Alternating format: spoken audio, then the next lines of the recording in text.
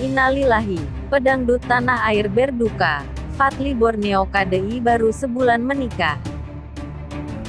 Kabar duka kembali menyelimuti musik dangdut tanah air. Pasalnya penyanyi dangdut jebolan ajang pencarian bakat KDI asal Kalimantan Barat, Fatli Borneo meninggal dunia.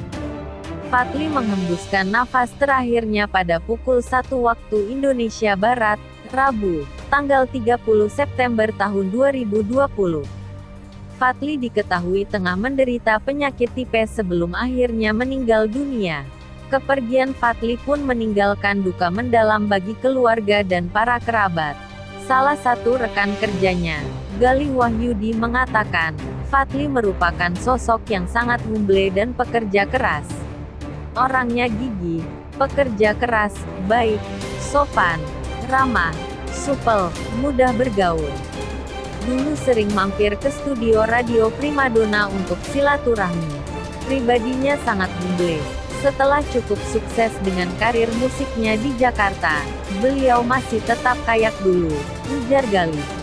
Tak hanya itu, Gali pun menyebut jika Fatli merupakan sosok yang profesional ketika sedang bekerja. Almarhum tidak segan untuk saring karena kita sempat beberapa di event yang sama. Sering dikritisi soal performanya, tapi tidak pernah nyerah, datang ke backstage selesai event, minta evaluasi. Dia mendengar serta upgrade diri. Oh ya kostumnya dan penampilannya kalau tampil selalu total. Beliau pekerja keras, konsisten. Mimpinya benar-benar dikejar, tanda sekali.